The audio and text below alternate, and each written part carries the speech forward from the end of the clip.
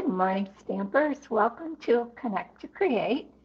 It is the first Thursday of February, and if you've not joined us before here at Connect to Create, um, we are a, collab- a collaboration between another stamping demonstrator, Kathi Ondus, a great friend of mine, um, from Simply Kards by Kathi, and I'm Pat Fairless from Fairless Stampin' Flair. And each week we take turns to bring you a technique that might be new, might be old, might be just a reminder. Um, but we hope you enjoy it. We hope you learn something. That's our goal. So today I'm going to do a technique I call faux painting with plastic wrap. And just a bit of history on this technique. Um, I used this technique to paint a half bath many, many years ago um, with paint and plastic wrap. And it was back when doing faux painting in your rooms was all the rage. And I'll be honest, it's still in my bathroom and I get lots of compliments to the to this day on it. So I've kind of adapted it to card making and instead of paint, I use ink, of course. But other than that, the technique is very similar. So let's go ahead and flip my camera down and we will get started. Okay, so the first thing you might think we will need is plastic wrap, of course. Now we don't need a lot, um, so I just take a piece that's maybe, oh, I don't know, three, four inches long, long enough to make it easy to tear, and just tear it off, and then we crinkle it up. And you will need one of these for each color that you make or that you use. So I'm going to set this one here. I already have the rest of them torn. You don't need to watch me tear them off. Um, I'm going to do this technique for you two different times. The first two steps will, for yeah, the first steps will be basically exactly the same um, with just different colors. And the last step is a step that adds some shimmer and shine, shimmer and shine, which if you know me, you know I like shimmer, shine, and all things glittery. So the first card I'm going to make for you, we will use Pool Party, Smoky Slate, and Real Red. And this is going to be a Valentine card. So you can you can either cut your cardstock to size. I am just using plain basic white. You could use shimmery white. It's certainly not necessary. Um, so I'm just going to use plain basic white. And it doesn't matter which color you start with. Excuse my voice today. I have a bit of a frog in my throat this morning. so I'm going to start with the pool party.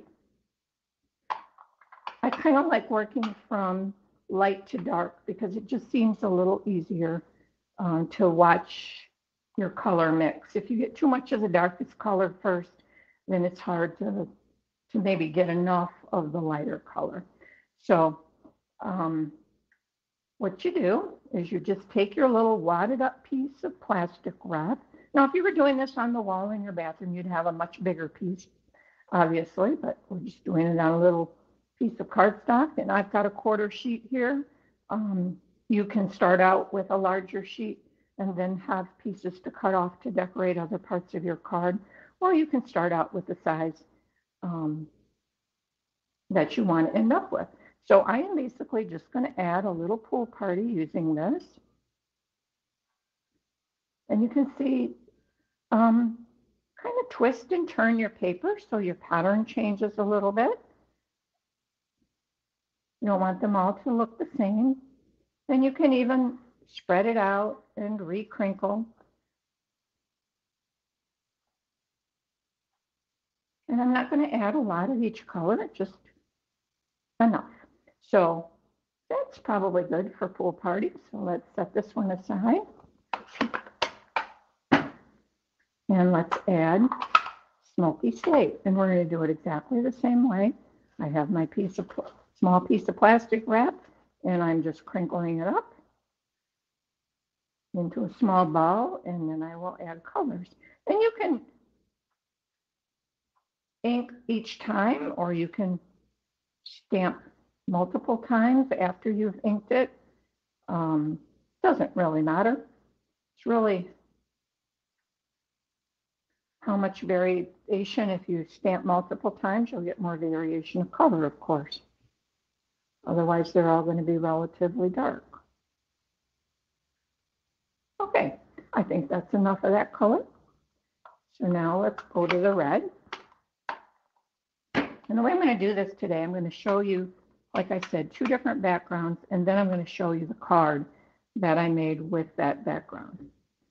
So get my next piece, wrap it into a little ball, and now we're going to start adding some red.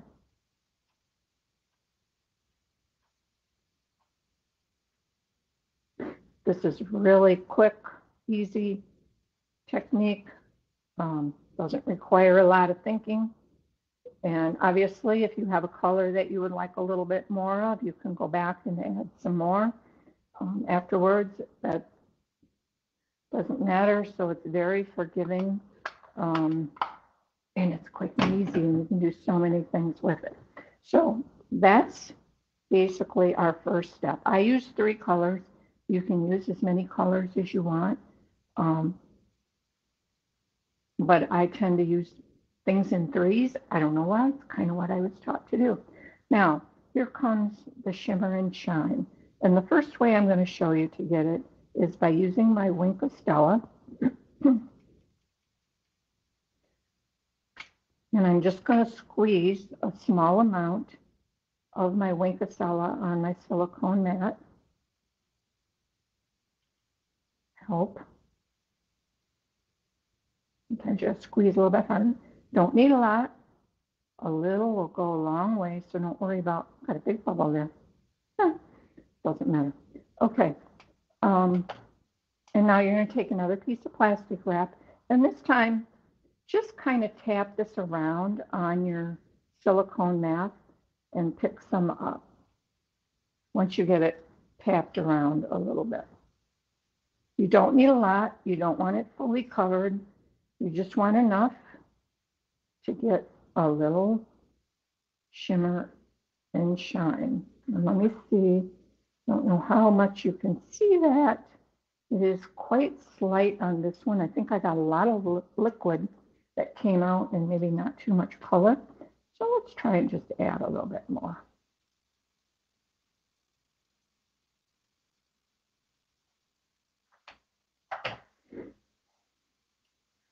Look at that bubble. This one's a little darker, so I think I got more of the ink or the pigment from the Wink Stella this time. So let's give this a try. Yeah, at least I can see it showing a little bit more. I'm not sure if you can. But it has basically turned its cardstock into shimmery white. And it's probably very difficult to see in the camera. But I promise you, it's there. Lots of glitter and lots of shine. So now let me show you the card that I made with this. It's a cute little Valentine card with the Love Cats stamp set. Um, I'll be honest, I'm not truly a cat fan. I don't hate them, but I prefer dogs. But this stamp set is so cute. And you can see here that I did my background um, and I cut it with a duck, deckled rectangle die. Um, the cat is color embossed, which means I inked the stamp first with Versamark, then, then I inked it immediately with a color. In this case, I used Smoky Slate, um, and then I heat embossed it. So cute little card um, for, for a Valentine for somebody. So that is my first card. Now I'm going to make one more background. We're going to do this one a little bit different. And instead of Wink of Stella, I'm going to use a different medium to give us the shimmer and shine. And so I will show you that um, at the last step. So the colors I'm using for this card are Crumb Cake, Bermuda Bay, and Blushing Bride. I'm going to start with crumb cake. And this time, instead of doing the whole card, I'm just going to add a little crumb cake across the bottom.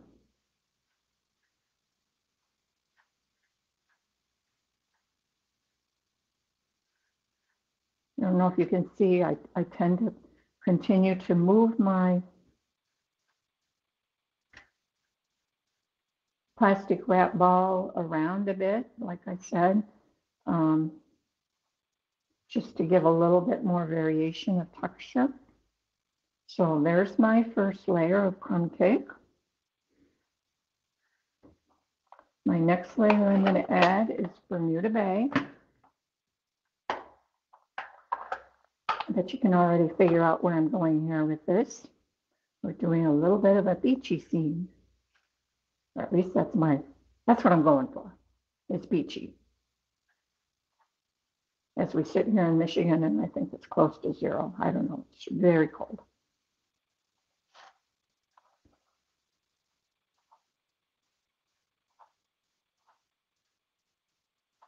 But the sun is out, so that helps, right? And I do feel a little bit sorry for the swans that are out on my lake in this cold weather, but they seem to survive just fine. So there's my water.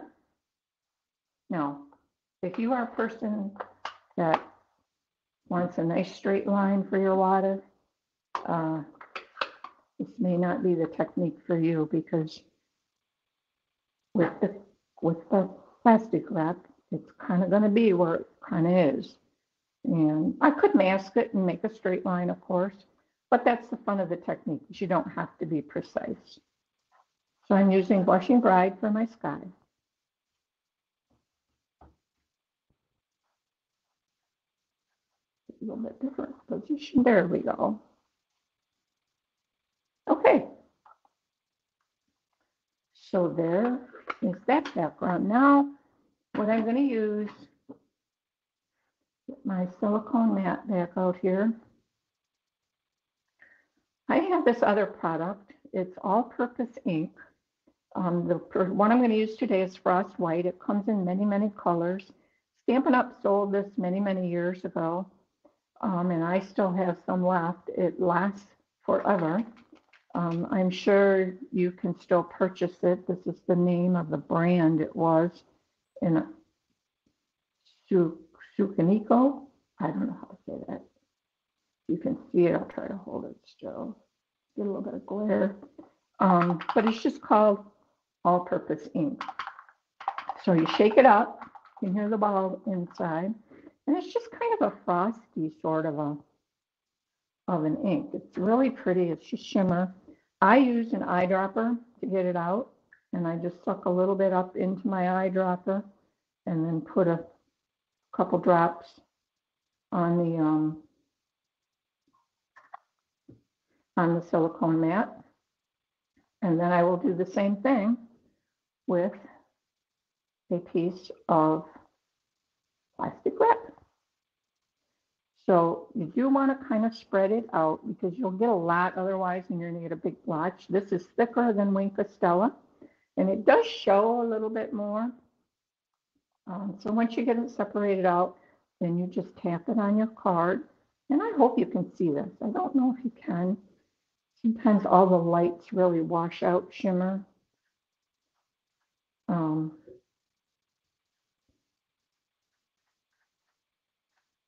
And again, you don't want it solid, you just want it splotchy. And I think that's pretty good. Let me see if you can see this one a little bit more. I know you can see the shine. I don't know if you can see the definition. Maybe a little bit more there. You can kind of see the pattern. That's probably a pretty good view right there. Pattern of the um, that you get with the plaster wrap. So that is my other background. And now let me pull in the card that I made with that. And again, these colors are Blushing Bride, Bermuda Bay, and Crumb Cake. And here is my card. This card is made with Seaside Bay. And I kept it fairly simple. Just put the three little um, sandpipers down here and some grass and a couple of shells. Um, I did add a little sea glass. And it's a thank you card. The background here, you can see that is called Brush Strokes Designer Specialty Paper. Um, this paper is gorgeous if you haven't seen that before. Um, it is in the annual catalog. Now, one thing I want to show you on both of these cards, I did decorate the envelope and I used the exact same technique. So just when you do it, just slide a piece of scrap paper under your flap and then you would create the technique the exact same way. And it makes a really pretty presentation on your envelope, don't you think? So that is my second card.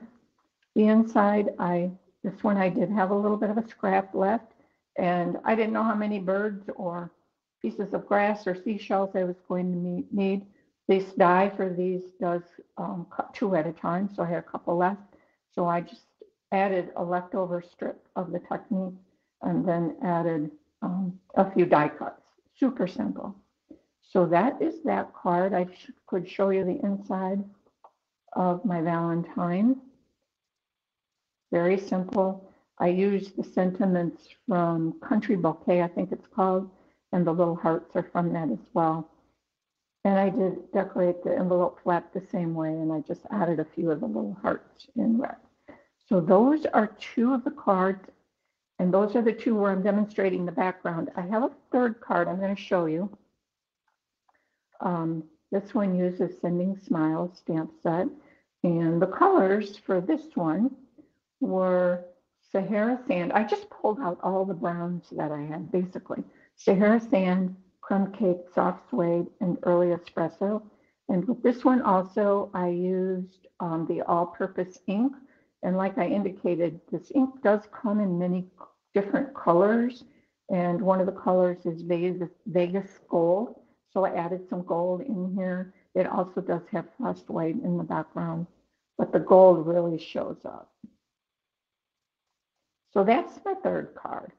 And that's what I wanted to show you today. So let me flip my camera back.